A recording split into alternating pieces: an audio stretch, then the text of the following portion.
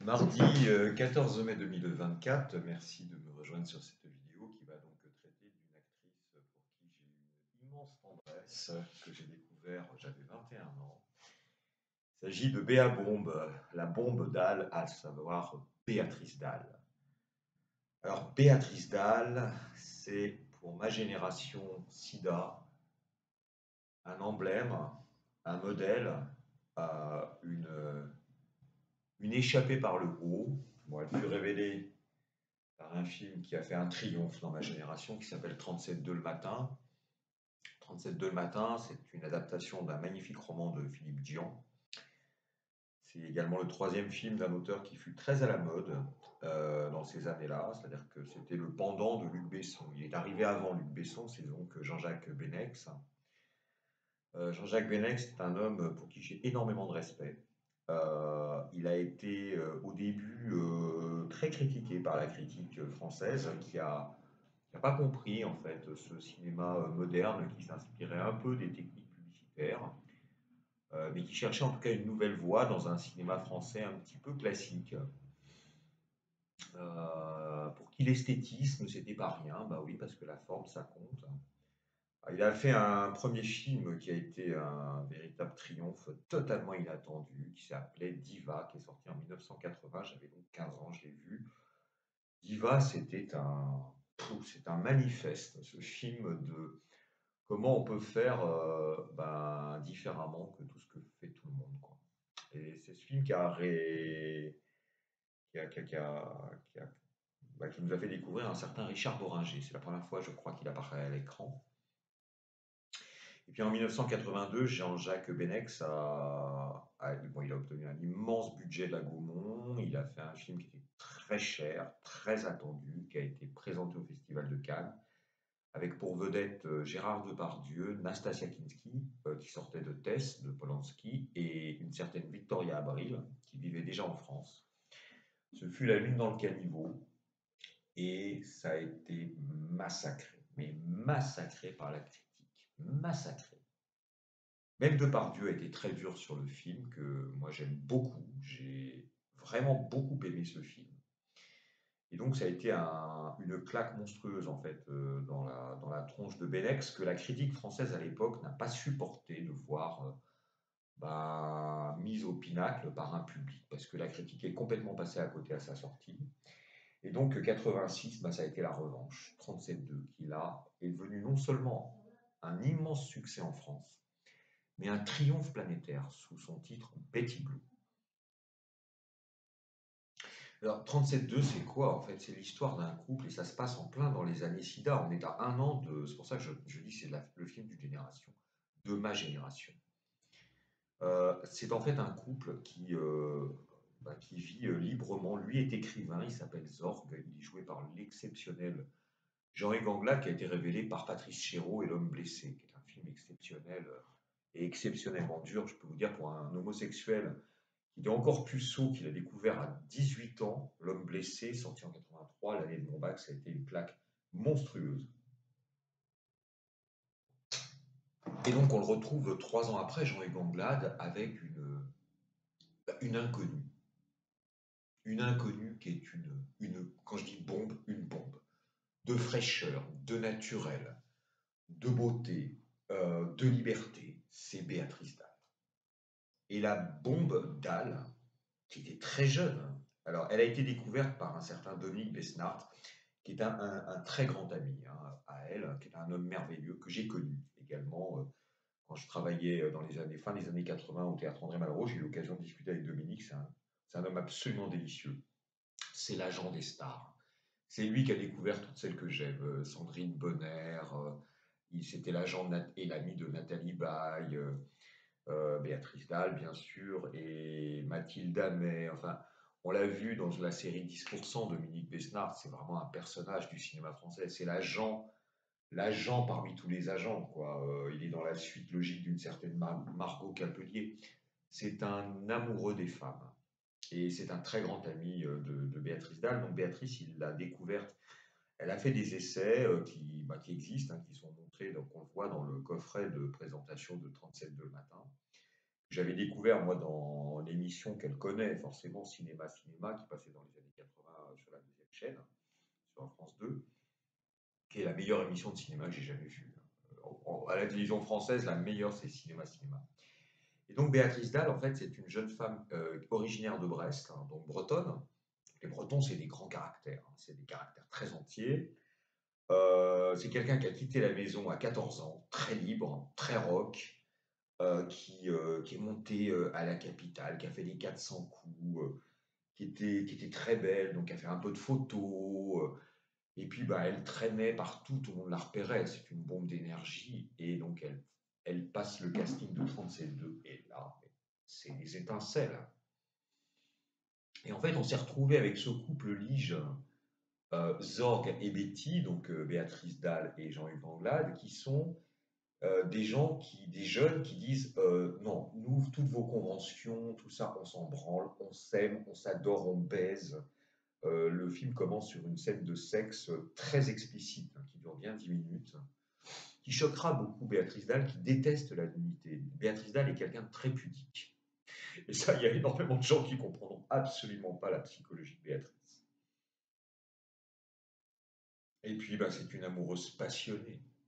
C'est l'amour-passion jusqu'à la mort. C'est ça, en fait, 37.2. Et pour moi, jeune homosexuel, se découvrant tout juste depuis euh, deux ans, ayant découvert un an après euh, avoir été dépucelé que l'amour conduisait à la mort, avoir ce couple merveilleux, et donc cette, euh, cette beauté qui s'appelle Béatrice Dalle, ça a été mais, une explosion existentielle. C'est pour ça que je dis, il y a des films, vous les voyez à un âge jeune, ça vous porte. Et moi, 37.2, bah, ça sera un de mes films cultes, comme énormément de gens de ma génération. Donc Béatrice, Béatrice Dalle devient une star. En un film, mais pas qu'en France, dans le monde entier. Euh, Betty Blue a triomphé aux États-Unis. Enfin, il a été nommé aux Oscars du meilleur film étranger. Elle, a fait, euh, avec Anglade et Bennett, ils ont fait le tour du monde. Enfin, c'est un film cultissime. Ce que je veux dire, c'est que 37 il y en a un et un seul par génération. Bah, il y a eu euh, Et donc Dieu créa la femme avec Bardot dans les années, euh, fin des années 50. Bah, ma génération, ça a été 37 et Béatrice Dalle. Et donc, on va se retrouver avec une Béatrice Dalle qui est devenue une égérie, qui va passer à l'émission, par exemple, d'un certain Thierry Ardisson, Lunettes Noires pour Nuit Blanche aux côtés de Serge Gainsbourg. On va trouver une fille très rock, très drôle, très provocatrice, euh, qui, qui mâche des chewing-gums, qui n'a absolument aucun complexe. Et donc ça, c'est l'image, d'accord? Béatrice Dalle, la provocatrice, tout ça, la, la, noctambule. Sauf que l'actrice, ça va être complètement différent. Parce que là, on a affaire bah, à une putain de cinéphile et tous ses choix vont être dictés par ça. C'est-à-dire que elle, qui aurait pu être une actrice archi populaire, elle a commencé par un triomphe, elle va choisir l'exigence. Elle va commencer par...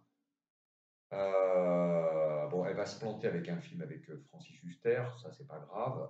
Euh, elle rejoint un metteur en scène italien, Marco Bellocchio, qui est quand même très connu, très coté, dans un rôle assez casse-gueule, la sorcière. Là déjà, elle va me scotcher.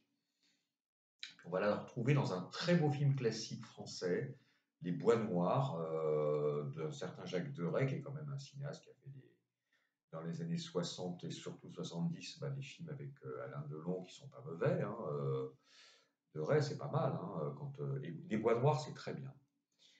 Et puis, on va la retrouver dans des films de, de putain d'auteurs. Alors, Jacques Doyon, La vengeance d'une femme, aux côtés d'Isabelle Huppert, un film très écrit où il y a énormément de dialogues.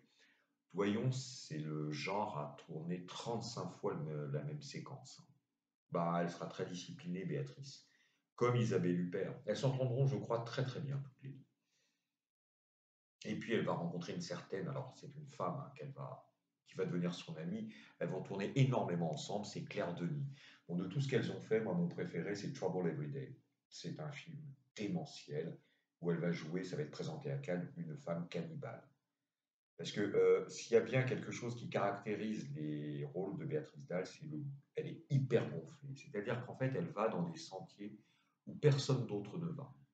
Je pense évidemment à sa performance absolument sidérante aux côtés de la sœur de Vanessa Paradis dans un film qui s'appelle À l'intérieur, qui est un film où elle joue une, une femme monstrueuse qui aura été victime, dont euh, l'homme qu'elle aimait a été victime d'un accident de la route à cause d'un couple. Elle va en fait retrouver euh, la femme du, de l'homme qui conduisait et elle va se venger. Cette femme est enceinte, elle est dans son petit pavillon.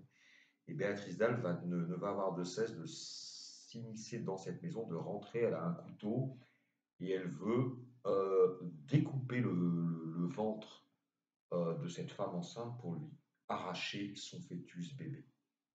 C'est un rôle hyper sanglant. Le film est génial. Franchement, dans le genre, moi je crois que le film d'horreur français, quand il s'en donne la peine, ça fait des, des joyaux.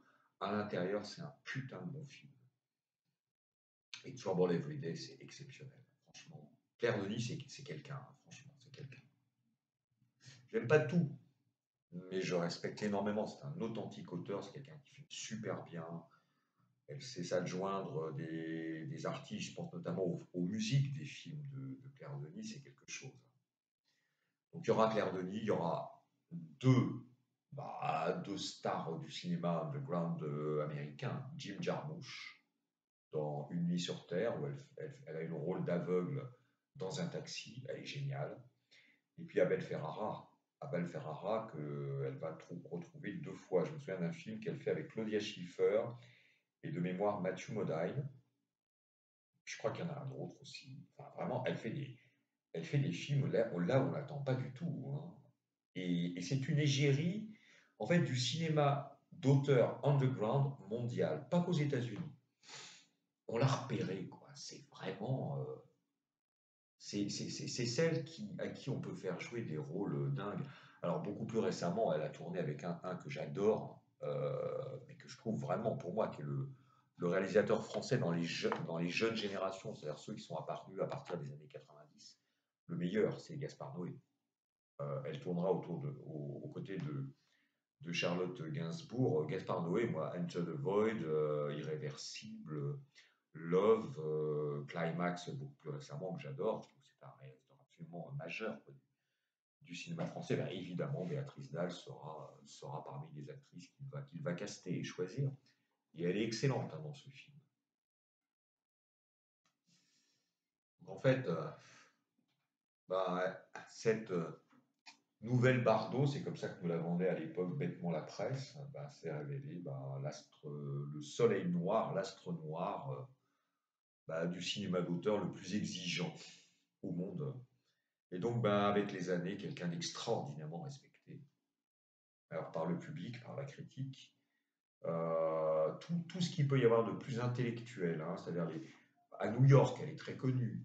Euh, au cahier du cinéma, il l'aime énormément. À Positif, euh, tous les grands cinéphiles ont une vénération pour Béatrice Dalle, qui est quelqu'un qui en France a fait une carrière personne n'a fait l'équivalent. C'est-à-dire qu'en fait, elle a pris dès l'origine, dès après le triomphe de 37-2, un chemin de traverse très, très exigeant, et elle est arrivée en 30-35 ans à faire une filmographie, mais qui, ne ressemble à personne d'autre. Et elle va avoir, c'est là où je trouve qu'elle est absolument merveilleuse, elle va avoir là-dedans un choix à part, qui la traduit admirablement bien en tant que, en tant que femme, en tant que personne. C'est les films qu'elle fera sous la direction d'un certain Claude Lelouch. On peut se dire que Claude Lelouch et tous les, les cinéastes que j'ai cités, ce sont des antithèses. Oui, on peut dire ça, oui, on peut, mais ça c'est superficiel. En fait, Claude Lelouch, c'est quoi? C'est qui? Claude Lelouch, c'est quelqu'un qui, est un, qui est un artisan, comme les autres, euh, qui est un optimiste euh, béat, ce qui est merveilleux. On a besoin de ça. C'est Shabadabada, c'est un homme et une femme, c'est les uns et les autres. C'est un petit peu, c'est entre François Truffaut, La Nouvelle Vague, et Jacques Demy. Euh. et puis, ben, c'est euh, ouais, la voiture qui fonce, c'est la liberté, le cinéma de, de Lelouch. Et puis, ben, c'est un melting pot ben, de tous ces personnages dans, le, dans les acteurs et dans, surtout notamment dans la musique, dans la chanson française qu'on aime beaucoup. On a vu Johnny Hallyday, on a vu euh, Nicole Croisy, on a vu plein de vedettes de la chanson jouer, Patricia Cass évidemment, euh, dans le cinéma de Club Lelouch. Et Béatrice Dalle, en fait, elle va s'insérer. Euh, elle va commencer par un film très beau, très aimé du public, qui s'appelle La Belle Histoire, qui raconte l'histoire de Jésus, avec un film choral à la Lelouch. Hein. Et qu'est-ce qu'elle va jouer? Elle va jouer qui elle est, en fait, dans la vie et elle va le jouer deux fois, dans deux rôles, dans deux films différents de Lelouch. Elle va jouer Marie-Madeleine. Parce que Béatrice Dalle, c'est Marie-Madeleine. il faut savoir, bon, été ami avec elle sur Facebook il y a ça quelques années. Je l'ai rencontrée une fois. Elle est, elle, est, elle est délicieuse dans la vie. Franchement, on ne s'est pas vu longtemps, on a beaucoup ri. C'est une déconneuse, mais c'est aussi une, une, femme super forte, super bien. Euh, j'ai eu beaucoup, beaucoup de plaisir à, la voir. Et surtout, on a, on a, échangé après en 2017 sur à peu près six mois. C'était pas intrusif. Je la, je la, contactais une fois tous les deux mois à peu près pour euh, lui demander bah, J'espère que tu vas bien. Bravo, tu as sorti ce film-là. Ça a l'air super. Enfin voilà, c'était. Et, j'ai eu l'occasion de lui envoyer euh, sur un registre un petit peu plus personnel. Je lui ai dit Voilà, je suis amoureux d'un garçon qui s'appelle Florent. Et je lui ai envoyé donc des, photos de Florent Benoît. Elle m'a dit Oh là là, mais qu'est-ce qu'il est magnifique euh, et puis elle a regardé mes, photos à moi, elle m'a dit, vous êtes super bien assortis tous les deux, je vous souhaite plein de bonheur. C'est ça Béatrice. Béatrice Dalle, c'est un amour. Et euh, c'est touchant, hein, vraiment, quand c'est une actrice que vous admirez, qui vous, voilà, qui, vous, dit une chose, qui vous écrit une chose pareille, c'est tellement gentil. Quoi. Puis du coup, bah, pour la remercier, je, lui ai offert, euh, je l'ai envoyé par courrier, j'avais une carte bleue qui fonctionnait encore, bah, mes deux premiers, euh, les deux premiers Sundance, Jeunesse 1 et 2. Je ne sais pas ce qu'elle a fait. Elle a dû peut-être les lire. Je sais pas. Elle lit beaucoup, en tout cas. Euh, donc, euh, le deuxième, c'est Chacun sa vie. Alors, ça, je l'ai vu en 2017. C'est un Lelouch encore. Et elle va jouer quoi? Le rôle d'une magnifique prostituée qui raccroche les wagons. elle a un client qui est joué par, de mémoire, bah, l'ancien ministre de la Justice, mon actuel, euh, Éric Dupont-Moretti, qui est très bon dans le film, vraiment. Et, en fait, il est amoureux d'elle, mais elle, elle peut pas. Elle peut pas. Elle, décroche et puis, bah non, elle, a la bonne distance avec les hommes. Et c'est là où elle est extraordinaire, en fait, dans ce rôle, c'est qu'en en fait, elle va, lui, parler cash. Elle va dire non, mais tu te fais un film, Coco. Je ne peux pas être ton épouse. Tu ne peux pas m'acheter. Je, je suis libre. Je suis une femme libre, je suis une belle putain. Et euh, tu vois, tu viens chez moi, je te reçois, regarde mon intérieur, c'est beau, on est dans ma chambre, il y a des fleurs, il y a des plantes, il y a, y a des, tu veux du thé, je te sers à manger, etc. C'est vraiment la, la, putain, mais dans, dans, toute sa noblesse. Quoi. Ça lui va tellement bien, je trouve, ce rôle. C'est la générosité incarnée. Et, et, et, elle va être hyper gentille, en fait, avec cet homme qui vraiment la regarde comme une espèce de, magnifique euh, plante, euh, et puis bah, elle, elle, tire sa révérence. C'est ça Marie-Madeleine. Et il se trouve que, bon, je sais que Béatrice Dalle a une passion pour Jésus-Christ. Vraiment. Elle l'affiche. Hein. Elle, euh, elle est passionnée par Jésus. C'est pas du tout quelqu'un qui est dans la bigoterie, hein. pas du tout. Mais, voilà, c'est une vraie croyante. Elle a la foi. C'est étonnant, hein, parce que je me souviens que dans les années 90, il y a eu cette affaire absolument odieuse avec cette espèce de mufle qui s'appelle euh, Patrick Poivre d'Arvor. Elle a quand même été la seule à le moucher en public pendant le JT. Ça, c'est une séquence d'anthologie. Qu'est-ce qui s'est passé en fait Béatrice Dalle était avec quelqu'un que j'ai connu qui s'appelle Joe Star. J'ai passé un film à côté de Joe Star, c'était très marrant ça. C'était, puisque j'habitais à côté du, de l'UGC euh, et donc, une séance de midi ou 11 heures, il y avait euh, le film, un film de Jacob van euh, Dormel, le cinéaste belge. C'était son troisième film, un film d'anticipation. Et il se trouve que Joey est venu s'asseoir juste à côté de moi. Je le connais, j'aime bien, moi, Joey Star, c'est un type très sympathique. Je l'ai trouvé sublime dans, le police de Maïwen. Et euh, je suis comme ça, je lui fais salut. Il me fait salut, ça va. Et puis le film commence, et 10 minutes après, il s'endort et il se met à ronfler pendant tout le film.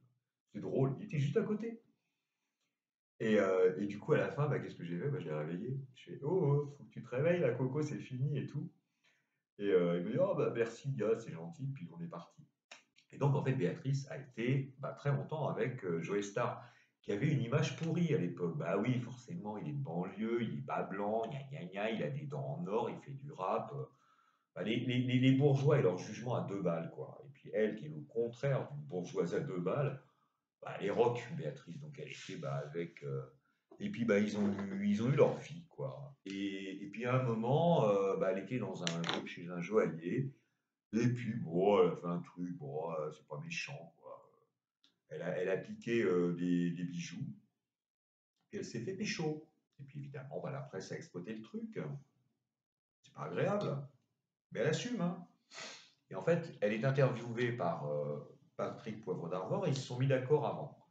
Elle a dit Je veux pas qu'on parle de ça, je suis là pour le film de Lelouch, La belle histoire.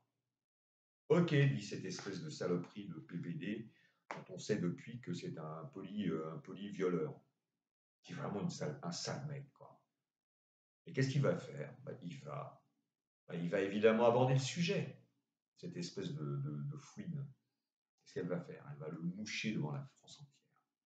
Elle va lui dire, mais dis donc, euh, vous avez bien dit qu'on ne devait pas parler du truc, mais si vous voulez qu'on parle des sujets qui fâchent Monsieur Poivre d'Arvor, peut peut-être parler des lettres d'amour enflammées que vous m'envoyez euh, et auxquelles euh, bah, je décide de ne pas répondre. Elle te l'a mouché. C'était génial. C'était le présentateur vedette préféré des Français. C'est- On était en 92.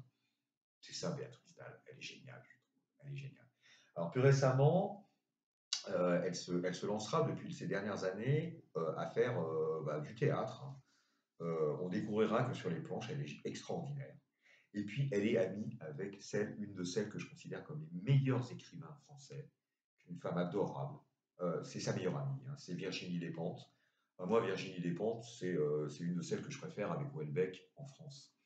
C'est euh, Apocalypse bébé, et c'est évidemment sa trilogie qui est le meilleur bouquin français pour moi du XXIe siècle, avec la carte et le territoire de Houellebecq, c'est Vernon Subutex. Vernon Subutex, c'est mais c'est le bouquin de ma génération. C'est pareil, c'est le pendant de 37.2. En fait, elle prend quoi, Virginie? Elle prend la génération, la sienne, la mienne, la nôtre, hein, celle de Béatrice aussi, qui sont des gens qui, dans les années 80, étaient dans le libertarisme à fond, un peu rock. Elle prend, et elle prend son personnage principal, c'était un, un DJ euh, dans, dans un magasin où on vendait des 33 tours. Et donc, il vendait les 33 tours, lui, et euh, euh, tout le monde venait, et puis bah, c'était un bon pote, donc il y avait des gens un peu rock qui se pointaient avec des blousons en cuir, ceux qui écoutaient à l'époque des Mode et tout ça, quoi. hein. Et puis euh, tout le monde se retrouvait chez Verdun. Et puis bah, tous ces jeunes des années donc, 80, ils vont avoir ce qui s'appelle bah, une vie. Et puis ils vont vieillir, ils vont se marier, ils vont s'embourgeoiser, tout ça. Sauf que notre Vernon, lui, va rester qui il est? C'est-à-dire un type libre, un type euh, très rock, qui ne fait pas gaffe euh, et tout. Et qu'est-ce qui va se passer au début? Bah, Il va se faire lourder de son appart. Il est chez Pôle emploi, il n'a pas de thunes, tout ça. Et comme euh, bah, il est un peu dans la mouise, qu'est-ce qu'il va faire? Il va aller sur Facebook et puis il va rechercher ses potes des années 80. Et il va reprendre contact avec chacun d'entre eux pour essayer ben, de s'en sortir, euh, de se faire héberger 3-4 jours ici, 3-4 jours là. Il va se rendre compte de quoi? Ben, Que euh, est face à des gens qui, dans la très grande majorité des cas, sont complètement euh, ben, embourbés dans un embourgeoisement, puisqu'ils sont tous rentrés dans la cinquantaine. hein. Et c'est ce que je vais vivre, hein, moi. C'est exactement ce que j'ai vécu. C'est pour ça que ça me parle autant. C'est que je m'aperçois à 50 ans que, bah oui, la plupart des gens de 50 ans que j'ai connus dans les années 80, ils, se sont tous encroutés. Et ils n'ont pas le quart de dixième de ma liberté. Donc, euh, Vernon Subutex, de Virginie Despentes, moi je vais. Mais... Et en plus, c'est pas que ça. Alors, évidemment, ce Vernon qui va se retrouver donc, face à un savant, il ne juge pas. C'est l'idiot de Dostoïevski euh, dans le Paris d'aujourd'hui, euh, Vernon Subutex. Et c'est en même temps la figure de Jésus. C'est-à-dire qu'en fait, il va aller à Rosa Bonheur, qui est un endroit, euh, j'habitais à côté, donc j'y suis allé plein de fois. Euh, et là, il va faire ben, des super sets, des soirées, et tous ses potes qui, veut, qui lui un peu claqué la porte au nez vont tous venir, et il va ressusciter les années 80 dans les années 2010. C'est fabuleux ça. C'est fabuleux. Et en outre, et je continue et je termine sur Vernon Subutex, c'est là que je trouve qu'on on, on, est vraiment dans le pur chef-d'œuvre. Je ne parle même pas de la langue de Virginie Despentes, qui est quelqu'un qui, écrit admirablement bien, euh, et qui est une femme d'une pudeur et d'une sensibilité. J'adore Virginie Despentes. La regarder en interview, j'ai toujours envie de, traverser l'écran pour lui faire un gros bisou à Virginie. Pour moi, je ne l'ai jamais vue, mais c'est une copine. C'est une copine. Et, euh, en fait, ben, elle va faire un portrait de. Ben, c'est le portrait de la France des années 2010. C'est-à-dire, elle va traiter tous les sujets hein.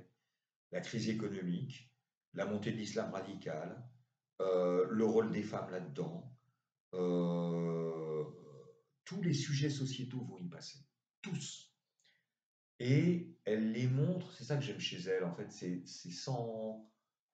C'est frontal, c'est cash, et en même temps, c'est énormément empathique. C'est-à-dire qu'en fait, elle va, elle va aller jusqu'à nous faire euh, ressentir la part humaine de, quelqu'un qui vote Front National. Je sais que c'est sur une ligne complètement opposée à la sienne. Mais c'est une humaniste, Virginie Despentes. Et, et je sais que ses, qualités et ses valeurs, elle les partage avec son amie Béatrice Dalle. Et donc, ça donnera bah, ce pur chef-d'œuvre qui sera adapté euh, pour faire une série qui, malheureusement, n'est pas au niveau. J'aurais rêvé, moi, de, de, l'interpréter, ce, ce, ce, Vernon Subutex, pour, au cinéma. pas tout, faire. Hein. En tout cas, le, livre, si vous ne l'avez pas lu, c'est en trois tomes, hein, c'est un chef-d'œuvre. C'est un chef-d'œuvre. C'est un des très grands livres de la littérature française du, du XXIe siècle. On n'en a pas beaucoup. Il y a le magnifique Les Bienveillantes, évidemment, là, le pavé de Jonathan, euh, je ne sais plus comment il s'appelle, hein, sur euh, la Première Guerre mondiale. Ça, c'est un pur chef-d'œuvre. Il y a la carte et le territoire qui a le prix Goncourt euh, de Michel Houellebecq. Il y a un ou deux Laurent Godet qui vraiment sont exceptionnels. Et puis bah, il y a Vernon Subutex. C'est fou parce que Virginie Despentes, on se dit, moi je me souviens, en tout fin des années 80, elle a fait scandale, Virginie, avec Baise-moi, le livre, puis le film. Et tout le monde se disait, cette meuf, c'est une pute. Les gens voyaient ça, quoi ouais, elle est vulgaire. Euh, euh, c'est un des plus grands écrivains français contemporains. Elle fait partie des jurys, euh, elle a eu le prix Renaudot, je ne sais quoi. c'est ça qui est génial. C'est qu'en fait, les années 80 auront donné naissance à des femmes comme ça. Alors, ça ne veut pas dire que je suis d'accord automatiquement avec toutes les prises de position de Virginie Despentes. Je sais qu'elle a fait une tribune il y a quelques années dans Libération. Bon, qui pas, c'était pas ma cam, mais J'aime bien parce que en fait son style ne bouge pas. Elle est cache. Elle est cache et c'est un auteur engagé. Et ça, je pense qu'on a besoin de ça. On a besoin d'artistes engagés. On n'a pas besoin de petits bourgeois qui nous racontent leurs histoires de cul avec le voisin ou les problèmes qu'ils ont eus avec le papa qui, les a, euh, qui leur a fait un inceste euh, 20 ans avant. Les, conneries à la Christine Angot, ça suffit. On juste ras-le-bol. Et bien Béatrice Dalle, c'est ça. C'est Béa J'espère qu'elle va bien. Je la salue fort, fort amicalement, elle ainsi que Virginie Despentes, et j'aimerais beaucoup les retrouver euh, bah, ces prochains mois quand je rentrerai à Paris. C'est vraiment des femmes pour qui que, j'adore.